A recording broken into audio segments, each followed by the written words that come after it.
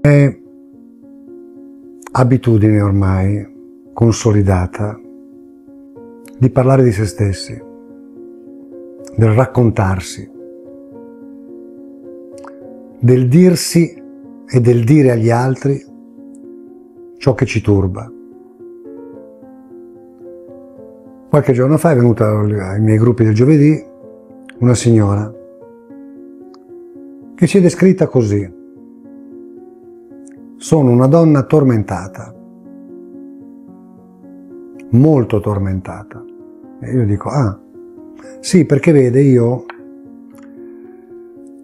continuo a dirmi, questa cosa che sto facendo probabilmente la farò, ma non funzionerà. Poi mi dico, ho sbagliato sicuramente a sposare questa persona, perché da tutto questo in realtà è venuto fuori negli anni soltanto frustrazione, dolore e soprattutto tanta disistima. Mi dico, Anna, ma come fai a stare con uno così? Come hai fatto a scegliere uno così? Oppure ancora, non so quale direzione prendere. Ho avuto un'altra offerta di lavoro ma non so decidere.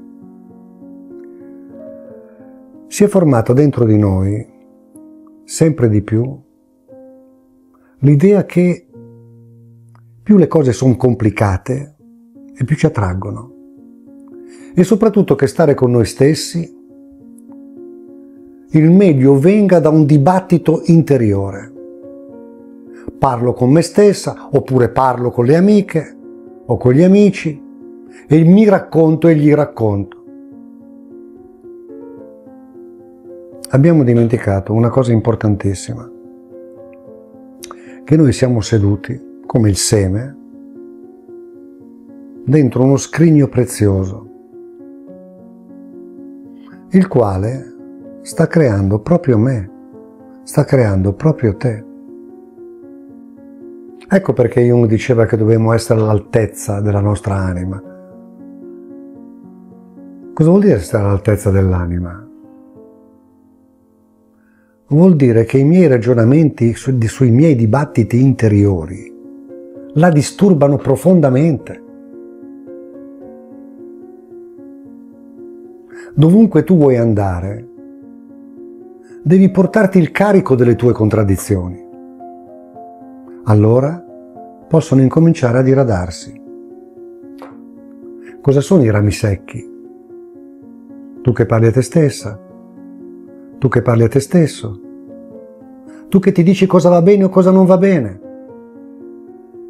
tu che ti dimentichi che il processo che svolge le tue caratteristiche è silenzioso.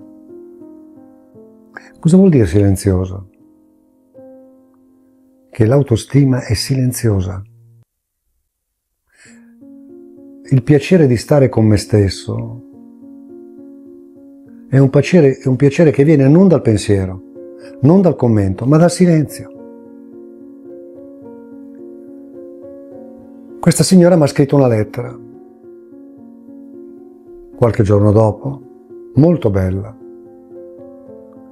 in cui dice, mentre prima mi facevo domande cosa ha causato ciò che sono, le cose che non sono andate bene, le cose che potrebbero andare meglio, si è come formato dentro di me un vento,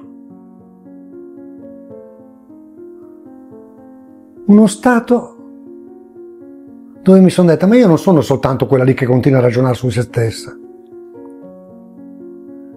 Quelli sono i miei volti vecchi sono i volti vecchi che sono in contraddizione, per forza sono morti. Come puoi a 45 anni avere lo stesso problema che avevi a 32 quando hai sposato tuo marito? Se non perché tu ritieni che tutta la tua vita interiore, il tuo essere, sia soltanto quella relazione, quel rapporto. Perché non riesci a lasciarlo? Perché il lato vecchio di te, quella che l'ha sposato, continua a vivere e continua a lamentarsi.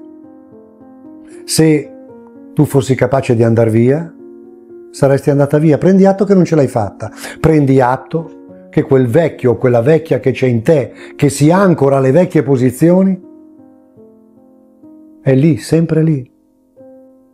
Ho visto andare via tutte le domande. Non fatevi più domande. Ho visto andare via la ricerca delle risposte. Non fatevi, non aspettatevi risposte dall'anima. Ho visto arrivare una pace, un benessere che non sapevo da dove veniva. Non fate come quelle di certe trasmissioni che sanno perché stanno male, che hanno avuto sempre tragedie, traumi e che vivono tutte un grande amore che è finito per ricominciarne un altro. Quel tipo di donna lì, che ragiona come tutti gli altri o come tutte le altre, è sempre perduta. Si associerà dolore a dolore. Il dolore viene per farci soffrire una volta sola, non per continuare a ripetersi. Si ripete perché? Perché noi lo riempiamo di ragionamenti che non sono corrispondenti al mondo psichico del sé, all'anima, al centro. Mentre il tuo centro partorisce te, tu lo stai stancando, continuando a dirti come devi essere. Mi è arrivata la pace perché sono cadute tutte le domande.